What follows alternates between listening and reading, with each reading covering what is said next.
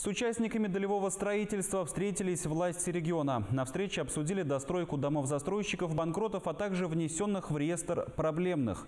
Кроме того, были озвучены меры социальной поддержки дольщикам, оказавшимся в трудной жизненной ситуации. Тему продолжит Елена Тимонина. На сегодняшний день в Ульяновской области 21 проблемный объект. Где-то осталась лишь отделка, а где-то только котлован вырыт. Более двух тысяч участников долевого строительства оказались в сложной ситуации. Спасибо, что хотя бы вы вот нас собрали и начали выслушивать. Мы к вам обращаемся просто как человек к человеку, как представителям власти, которые имеют больше полномочий решать вопросы людей. Потому что если выслушивать каждого, это будет очень сильное эмоциональное выступление,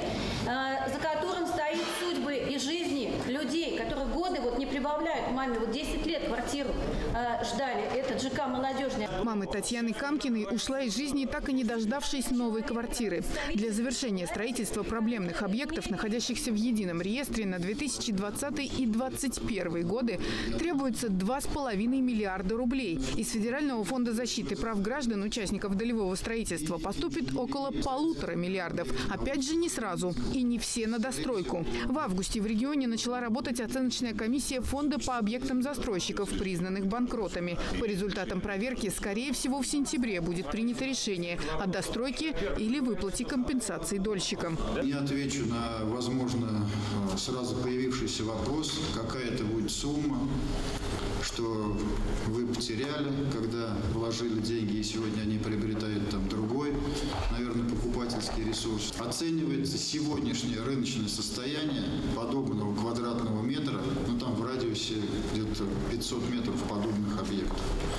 И исходя из э, вашего соглашения, уже человек, ну, участник долевого строительства, будет получать эту компенсацию. А пока обманутым дольщикам оказывается адресная материальная помощь. Правда, не всем. Сейчас ее получили 103 человека. Общая сумма около 17 миллионов. Один раз в год. Но рассматривайте ситуации комплексно, Алексей Владимирович. И выплаты достаточно серьезные.